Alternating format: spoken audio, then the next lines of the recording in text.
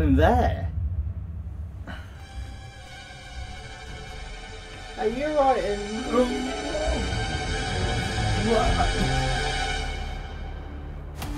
What the? Hellfire Club? Where the hell? Oh, that's not good, is it?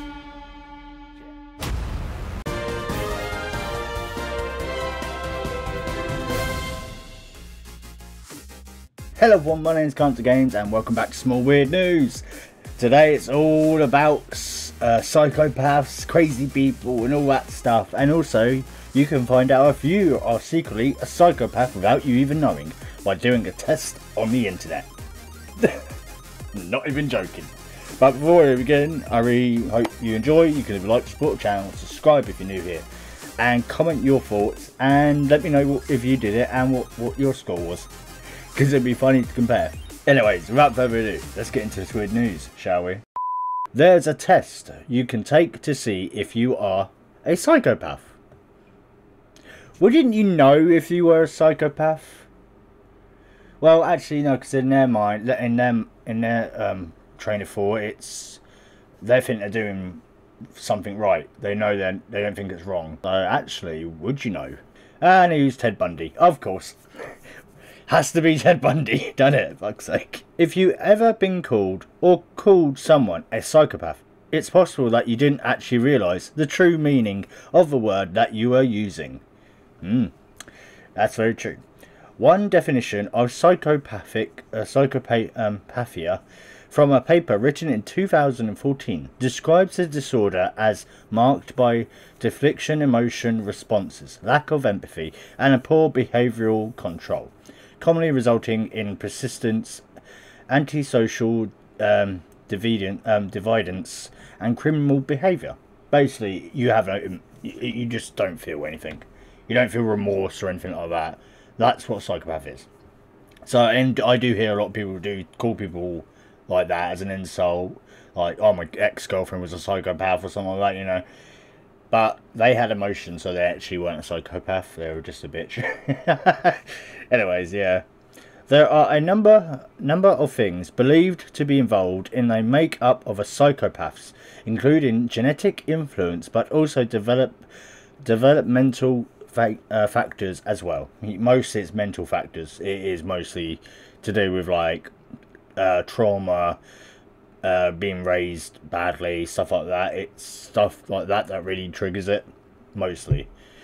You send so much shit, you just become numb, ain't it? You know? People seem to be predisposed, predisposed uh, uh, genetically to the disorder, but their upbringings and development also plays a key role.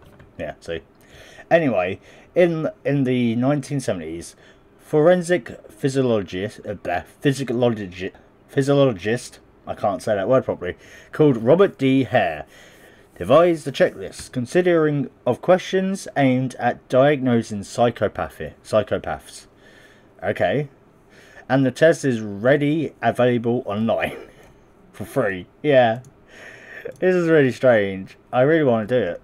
I'm actually, I'm going to do it after I've read this article, of course. Whilst his work was special, um, specifically centered on his work with prisoners in Canada, it has since been applied outside of those circumstances. Obviously, it's well worth pointing out that just possessing these qualities do, does not instinctively mark you as a psychopath. It's much more complex than that. But it's certainly an interesting checklist to read through. the test we are at pains to point out is definitely not in any way as useful as an actual psychological assessment. Furthermore, whilst you can run this test yourself, it's definitely supposed to be done by a professional if you're if you're to take it seriously. Disclaimers aside, here's how it works. The checklist contains 20 attributes that could continue, uh, contribute to psychopath psychopathia, yeah, psychopathia, which uh, must be assessed in three categories. Does not apply. According to zero points, somewhat applies, which count for one, and fully applies, which yield a grade of three. So basically, if it doesn't apply to it, it's zero. If it somewhat applies, it's counted as one. If it fully applies, it's then counted as a three. All of those scores tally to the total out of 40. Anyone scoring over 30 or 25 in the UK is likely to be psychopath, likely to be a psychopath. Why is it 30 everywhere else but 25 here? Is it just more known for younger kids, younger people in like the UK to go more psycho? I thought it would have been more like in America. You know, doing this test at like 16 maybe. you never know, wheel them out fast.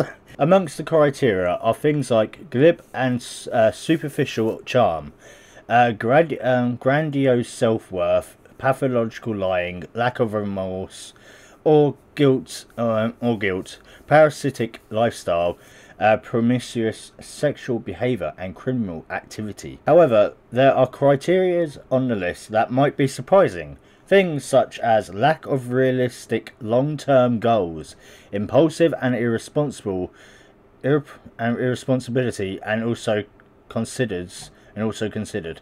Yeah, there he is, Ted Bundy, Salt Lake County. Yeah. The test has been um, criticised in some circles, which many believe it to be too simplistic or reductive. Critics suggest that the test doesn't account for a, a valuable and ever-changing nature of human behaviour, as well as suggesting that many of the um, criteria can also be applied to other disorders and conditions. A lot of conditions and disorders actually do have like same trade trademarks as like the others. Like with ADHD, uh, that has autism, but that also has like mood swings, um, moments of lack of empathy. It's stuff like that that we have. So yeah, I could be classic because of, of my disorder, but I have medication and all that to help me through.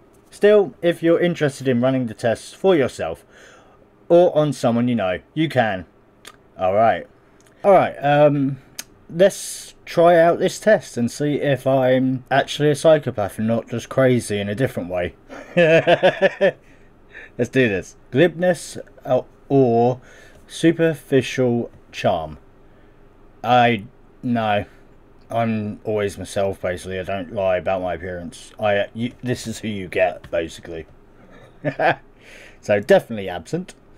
Previously diagnosed as psychopath or similar. Uh, well, I have ADHD and all that, so I have been diagnosed, but not with that. So possible. Egocentric, egocentric or grand loose sense of self worth. Um, I don't think much of myself at all. I really don't. Proneness to boredom, low frustration tolerance. I get bored very easily. That's because my ADHD. So yeah. Pathology lying and deceitful. Nope. I'm quite truthful. I am. Conning, lack of security and uh, sincerity. Yeah. So that um, definitely absent. Lack of remorse or guilt. I feel guilty about farting in my house when when there's someone else here. I literally hold a fart until I leave. so I think that answers your question. Lack of uh, affect and emotional depth. Um, I don't. It's not that I lack affection or anything like that. It's just I'm chill. So it's so I don't know. Possibly maybe nah yeah callous lack of empathy i'm very i'm very imp- empath i'm very i'm a very big empath i i feel other people's emotions i know if i've done something wrong so lack so that's definitely absent parasitic lifestyle basically that is definitely absent of course short-tempered poor behavioral control uh i am short-tempered I can be so possible promiscuous sexual relation um, relations I haven't been with a girl in about four years. Well, no, no, tell a lie, three years. Maybe four, actually. I don't know now. Could be four by now. Yeah. Single. Early behavioural problems, yes. Lack of realistic long-term plans. Eh, doesn't everyone not? Doesn't everyone really not, not know what they want to do in the future? Impulsive. No, not really. Irresponsible behaviour as uh, behaviour as parent. Irresponsible behaviour as parent. Wait, does that mean me as a parent? Well, I'm not a parent, so no. Frequent material relationships? Nope. Juvenile delinquent? I've never been juvie. Poor pro probation to oh parole and all that. So basically, when you get arrested, nope. Failure to accept responsibility for own actions. No. If it's if I've done something, I'll say it was. Look at my videos. Many types of offences. None. Drug or alcohol abuse not direct cause of antisocial behaviour. Uh, no. There we go. Score time. Your score was 8 out of a possible 44. While there is no spec uh, specific cutoff, higher scores indicate a greater likelihood of psychopath. There you go. I'm 8 out of 44. I really was, really was kind of like thinking to myself, I might end up being, am I going to be like really high? But no, I'm just mad in a different way. Anyways, I really hope you enjoyed. I'll see you tomorrow for some straight. Don't forget to leave your score in the comments below. Ciao.